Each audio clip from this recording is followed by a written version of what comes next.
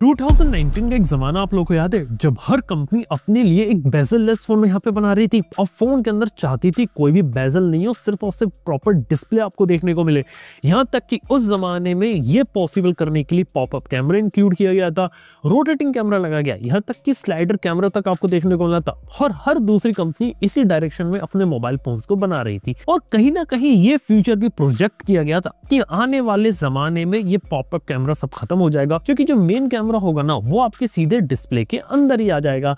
लेकिन ये जो अंडर डिस्प्ले कैमरा रहता है ना, जिसे फ्यूचर प्रोटेक्ट किया जा रहा था, ये बिल्कुल ही खत्म हो गया। मतलब आज के समय में 2025 में कितने फ़ोन है? इसमें अंडर डिस्प्ले कैमरा आता है। Even Samsung company fold series में भी अंडर डिस्प्ले कैमरा लाता था, लेकिन जी फोल्ड 7 में अंडर डिस्प्ले कैमरा नहीं आ रहा। प्रॉपर पंच होल कैमरा ही उसने इंटीग्रेट कर दिया। इवन कई सारी कंपनीज़ ने ऐसे प्रोडक्ट भी निकाले थे। जेटी ने निकाला था कि अंडर डिस्प्ले कैमरे वाला फ़ोन है। लेकिन ये चीज़ कभी भी मेच्योर नहीं हो पाई और मेन स्ट्रीम आई नहीं पाई। और देखा जाए तो साइलेंटली हर एक कंपनी ने अंडर डिस्प्ले कैमरा को किल कर दिया।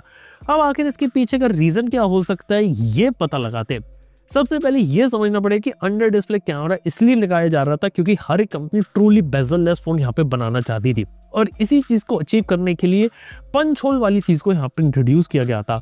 और सच बात यह कि पंच होल कैमरा ही यहाँ पे अंडर डिस्प्ले कैमरा में भी होता था, लेकिन उसके ऊपर डिस्प्ले के ऊपर एक लो रिजोल्यूशन लेयर होती थी। यानी कि एक लो पिक्सल डेंसिटी का डिस्प्ले उस पर्टिकुलर पार्ट के ऊपर होता था, जिसे यहाँ पे ट्रांसपेरेंट किया जा सकता था, या फिर सही मामलों में बोला जाए ट्रांसल्यूसेंट किया जा सकता था, ताकि जो लाइट होती है वो एंटर करे डिस्प्ले के अंदर। और जो कैमरा होता है, वो आपकी प्रॉपर अच्छे तरीके से सेल्फी ले सके। यानी कि सेल्फी के लिए उन्होंने एक ऐसी जुगाड़ बनाई थी कि कैमरे को डिस्प्ले के पीछे किया, ऊपर के डिस्प्ले को थोड़ा सा रिजोल्यूशन कर दिया और यहाँ पे उसे ट्रांसल्यूशन बना के डिस्प्ले के अंदर लाइट डाल के वहाँ से आप अपनी परफेक्ट सेल्फी यहाँ पे निकाल सकते हैं।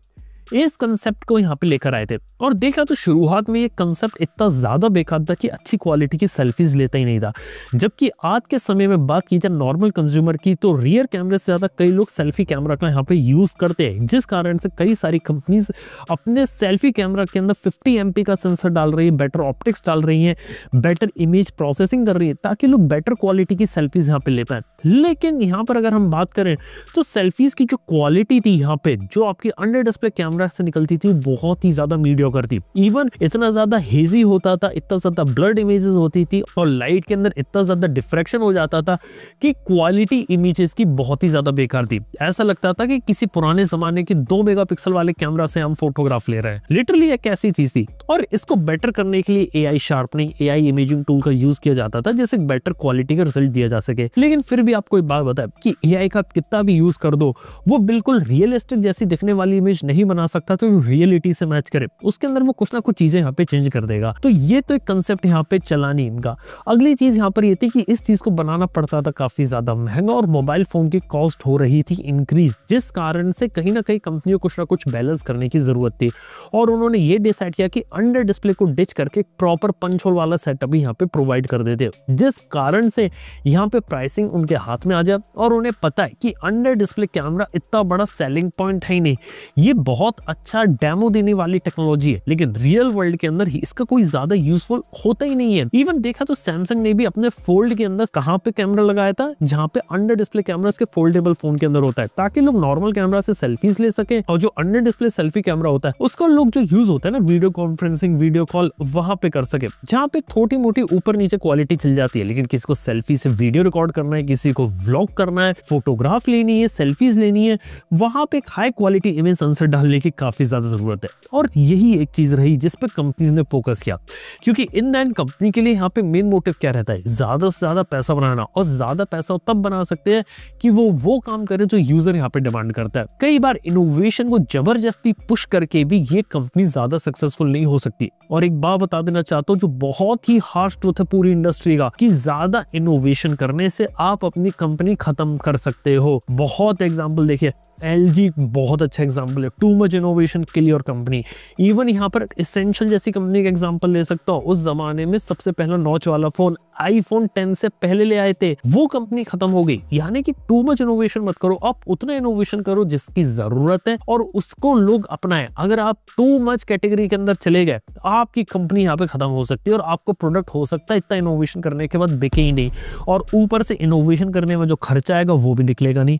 इस वजह से एक और चीज़ यहाँ पे डिसाइड करें कि यार, इतना इनोवेशन की भी ज़रूरत नहीं है। हम वहाँ पे पैसा डालते हैं जहाँ पे सच में रिक्वायरमेंट है। लोगों को बड़ी बैटरी चाहिए, वो एक प्रायोरिटी है। एक फास्ट प्रोसेसर चाहिए फाइव जी कैपेबिलिटी चाहिए, जो फंडामेंटल चीज़ें चाहिए मोबाइल फ़ोन को बनाने में, वहाँ पे काम करते हैं, बजाय कि इन द एंड एक गिमिक निकल कर आ रहा है। आप समझ गए ना, इस तरीके से केस चल रहा था। और ये भी मैंने देखा कि यार अंडर डिस्प्ले कैमरा ना, ये मार्केटिंग वगैरह का भी एक अच्छा टूल बन सकता था, लेकिन कुछ हद तक कि लोगों को एक दो दिन तो अच्छा लगेगा यार, पूरा फ़ोन बेजल लेस है। लेकिन सच बात ये कि अगर आपने स्क्रीन के ऊपर एक छोटा सा डॉट भी दे दिया जिसके अंदर कैमरा है तो कई सारे लोग को पता चलेगा भी नहीं कि वहाँ पे वो उस डॉट के ऊपर देख रहे हैं। क्योंकि बेसिकली जो डॉट रहता है काफ़ी ज़्यादा छोटा ऑलरेडी यहाँ पर हो चुका है। और आज के समय में एंड्रॉइड फ़ोन मेकर उस डॉट को एज अ डायनेमिक आइलैंड के रूप में भी यहाँ पे यूज़ करते रहते हैं। जिसे उन्होंने यूआई का भी एक पार्ट बना दिया है। तो वो भी उनको एक यूज़र एप्लीकेशन यहाँ पर मिल गया। लेकिन ओवरऑल बात करें तो यार अंडर डिस्प्ले जैसा चीज़ आने वाले फ्यूचर में नहीं लगता कि कहीं ना कहीं यहाँ पर आ पाएगी। देखो इसके मल्टीपल रीजन थे फेल होने के। और टेक्नोलॉजी भी अब उतनी ज़्यादा इवॉल्व नहीं हो पाई। और कंपनीज़ ने भी इसके ऊपर काम करना इसलिए छोड़ दिया क्योंकि उन्हें भी यहाँ पे कोई खास रिटर्न देखने को मिल नहीं रहा था। मतलब आप खुद सोचिए कि यार, इसको डाला जा रहा है टोटल जो फोल्डेबल का इंडिया में मार्केट है वो कितना है? तकरीबन आठ लाख यूनिट बिकती है इंडिया में और ग्लोबल लेवल पर भी फोल्डेबल्स को रिजेक्शन ही मिला है। जिस कारण से जब इतनी नीच कैटेगरी यहाँ पर नहीं रिवॉल्यूशन कर पाई तो यहाँ पे कंज्यूमर इनसाइट को समझना ज़रूरी है। और वो प्रोडक्ट यहाँ पे निकालना ज़रूरी है जो यहाँ पर बिके। इसीलिए हायर सेल्फी कैमरास के ऊपर फोकस किया जा रहा है। किसी किसी फ़ोन में डबल सेल्फी कैमरास भी डाल दिए जाते हैं। कहीं पे रियर कैमरा पे फोकस किया जा रहा है और कहीं पे नए डिज़ाइन पे फोकस किया जा रहा है। और कहीं ना कहीं उन टेक्नोलॉजीज़ पे फोकस किया जा रहा है जो ज़्यादा मेच्योर और उसे मास स्केल में आसानी से प्रोड्यूस कर सकते हैं। और जो एक प्रैक्टिकल चीज़ भी यहाँ पर निकल कर क्योंकि in the end selfie camera का यूज़ अगर आप लोग कर रहे हो, लेकिन आपने दिखाने के लिए उसे डिस्प्ले के पीछे डाल दिया और उसके आउटपुट में अगर कॉम्प्रोमाइज हो रहा है, यानी कि बेकार क्वालिटी की सेल्फीज और सेल्फी वीडियो के अंदर क्वालिटी बिल्कुल भी नहीं आ रही तो एक प्रॉब्लम यहाँ पे हो सकती है। और इसी प्रॉब्लम को सॉल्व करने के लिए इस चीज़ को यहाँ पे खत्म कर दिया गया। लेकिन देखते हैं आने वाला समाना क्या रहता है। क्या पता कुछ ऐसी नई टेक्नोलॉजी आ जाए कि डिस्प्ले के पीछे ही कैमरा रहे और आपको बहुत ही अच्छी क्वालिटी की सेल्फीज और उसके वीडियोस आपको देखने को मिल जाए। अगर ये टेक्नोलॉजी अगर आने वाले फ्यूचर में कुछ इवॉल्व हो जाती है तो वो भी देखेंगे। लेकिन हाल फ़िलहाल के ऐसा नहीं लग रहा कि अंडर डिस्प्ले सेल्फी कैमरा दोबारा से यहाँ पे अपनी कोई जगह ले पाएगा। इवन यार अंडर डिस्प्ले सेल्फी कैमरा का तो पॉपअप कैमरा से भी बुरा हाल हुआ। पॉपअप कैमरा भी खत्म हो गए स्लाइडर कैमरा खत्म हो गए रोटेटिंग कैमरा खत्म हो गए। यहाँ पे जितने भी मूवेबल पार्ट होते हैं ना, ज़्यादातर चीज़ें यहाँ पर खत्म हो गए देखते हैं सेल्फी कैमरा के साथ यहाँ पर क्या रहता है। आप लोगों के ओपिनियन है कि मोबाइल फ़ोन के अंदर अगर अंडर डिस्प्ले सेल्फी कैमरा होगा तो आप उसके ऊपर जाना पसंद करोगे या फिर किसी एक ऐसे फ़ोन के ऊपर जो आपको बहुत ही हाई क्वालिटी की सेल्फीज दिखाना शुरू करे या फिर आप लोग को सेल्फीज में कोई इंटरेस्ट ही नहीं है? जो भी आपका आंसर है नीचे कमेंट बताइए। वीडियो में कुछ नया सीखा है, कुछ जा रहा है तो प्लीज़ सब्सक्राइब करें। थैंक यू बने रहने के लिए मैं आपसे मिलता हूँ नए वीडियो के अंदर। Good bye